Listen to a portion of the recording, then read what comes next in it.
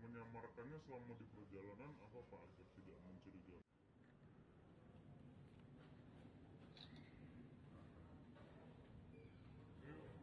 Jadi berawal dari si tersangka ini sering menitipkan dagangan asongannya atau gerobak asongannya di rumah nenek daripada si korban.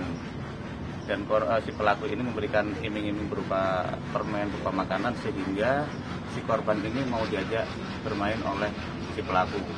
Sehingga pada tanggal 11 Juli tahun 2018 kira-kira sore hari si pelaku membawa korban dengan menggunakan kereta api ke arah Merak, ke arah pelabuhan Merak. Jadi diajaklah si korban ke arah Merak, lanjut menyeberang ke Bakahuni, lanjut ke eh, arah Sumatera Barat, yaitu tepatnya di Pariaman.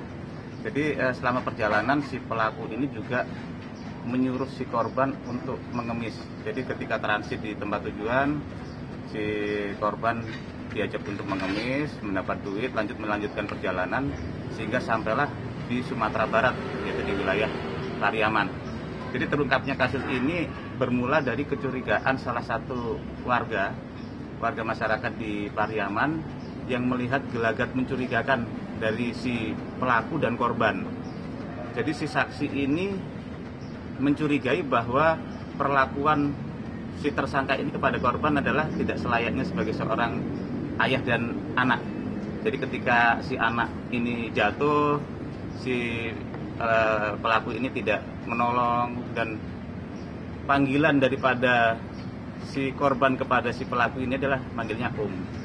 Sehingga si saksi yang melihat kecurigaan ini memanggil si pelaku memanggil ke pelaku dan mengajak bicara itu anak siapa dan ternyata jawabannya tidak memuaskan sehingga si saksi yang pada saat itu ada di dermaga di wilayah Pariaman merasa curiga dan akhirnya melaporkan kepada kepolisian Polres Pariaman. Kalau alasannya nggak ada pak. Kalau alasannya dari saya nggak ada pak. Loh, terus kenapa tuh kamu ini? Orang kamu eh, eh, sayanya udah dianggap keluarga dengan dia pak. Tapi kan kamu nggak izin sama ibunya, nggak sama neneknya. Saya mah udah anggap keluarga saya orang tua angkat saya. Kalau tinggal dengan dia pak. Kamu anggap orang tua. Hmm. Tapi kan kamu nggak izin. Terus kenapa kamu ajak ke sana ke Padang ke Pariaman? Dasarnya kayak gini pak. Saya mau apa? Rangkas pitung. Terus rangkas pitung. Ke sini. Aku, aku ngemis sendirian. Eh, terus? ngemis sendirian dia dianya si, si putri ini tidur Hmm, karena duit aku nggak ada lagi aku bawa ngemis kita terus? sedekah Hmm, Dapat berapa? Hah? Kalau ngemis dapat berapa? dapat eh, Duitnya berapa? 200 satu hari 200 ribu. satu hari Satu hari 200 ribu. 200 200 ribu. Hmm, Buat apa? Buat eh, buat jajan tiap tiap hari pak karena aku lagi menganggur nggak jualan Terus kenapa kamu bawa ke sana ke Pariaman? Kenapa? Kamu orang ke sana? aku orang Pa- orang Pariaman pak Ada keluarga? Punya keluarga di sana?